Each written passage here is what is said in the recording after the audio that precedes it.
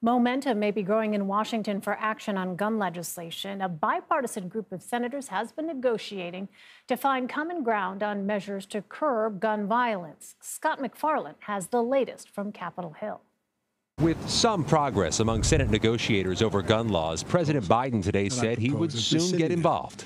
I will do what I can to try to see through we have some real progress. The president laid out a series of proposals Thursday, including a ban on assault weapons and high capacity magazines. How much more carnage are we willing to accept? But in a narrowly divided U.S. Senate where 60 votes and both parties' support are needed, many of the president's proposals aren't on the table. Assault weapon ban, raising the minimum age, is that on the table in your conversations? Right now, there aren't the votes in the Senate to ban assault weapons, but there may be the votes in the Senate to be able to expand our background check system, to um, help states pass red flag laws um, for additional mental health funding. As negotiations continue, so does the violence. Two mass shootings a day since the attack in Texas, and the frustration continues too. Keep our schools safe. With student walkouts nationwide from Maryland to California, protesting inaction by Congress. This week, House Republicans stated their opposition to most gun reform proposals. Democrats today and this administration have indicated clearly that they desire to take away guns of law abiding citizens. Some in the GOP do back hardening school security. In Little Falls, New Jersey, officers walk the halls, but kids admit they're still worried. It's uh, crazy to know that when I come into school every day, I'm lucky that I get to, to come home. I think that's not something that I should be feeling. And Scott MacFarlane joins me now with more. So, Scott, what is the latest on these gun safety negotiations, and how much of President Biden's agenda seems realistic at this point? Elaine, the big players in this negotiation and the advocates for gun control say a lot of things have to move in a short period of time. Hopefully, next week, according to Senator Chris Murphy, there'll be some proposal on the table to work with. They want to move swiftly because with legislation in Washington, the longer it stays out there, the more time is consumed getting to it, the more likely it is to get derailed or simply atrophy. So we use that as our starting point.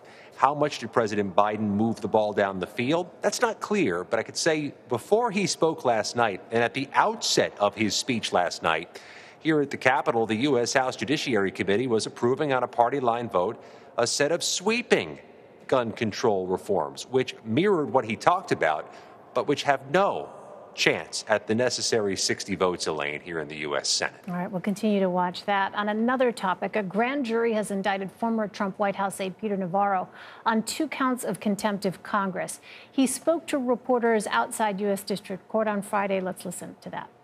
These are ultra vires, unenforceable, unlawful subpoenas. And that committee uh, should never have been formed. I blame, as, as much as I blame Pelosi and Schiff and Raskin. I also blame Kevin McCarthy. Scott, what more can you tell us about his arrest and his criticism against House Minority Leader McCarthy? He was arrested at Reagan National Airport outside Washington, D.C. today and processed and had his initial appearance in D.C. federal court on this contempt of Congress charge. When you heard him speaking, he was standing outside the courthouse.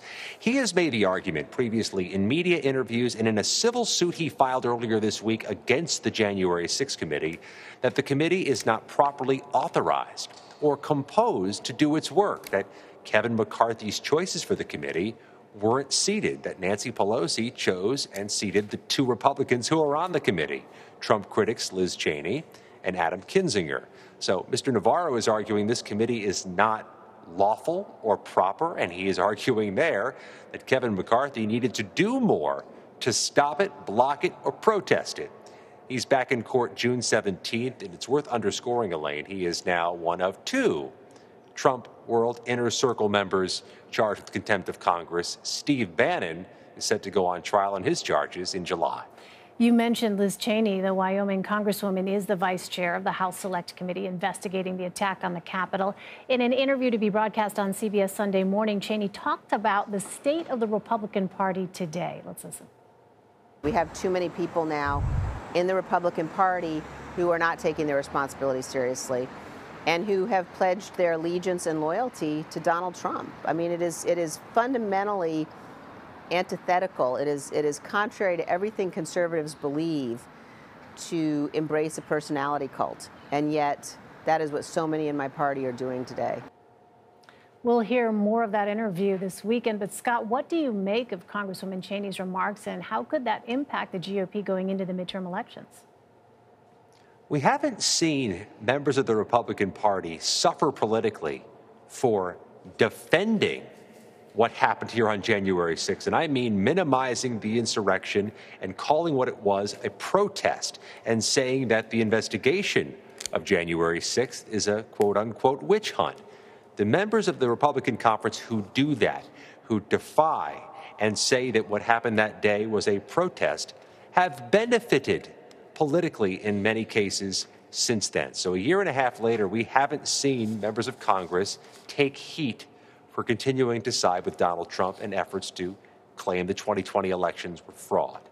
Liz Cheney and Adam Kinzinger, the two Republicans who are on this select committee, have had political hits. Ms. Cheney has a primary coming later this summer. It's going to be a contested primary. It's going to be an uphill fight for her. Adam Kinzinger has simply retired. He's leaving Congress at the end of this term.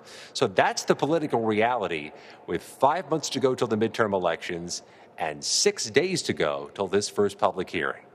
All right, Scott MacFarlane on Capitol Hill for us. Scott, thank you.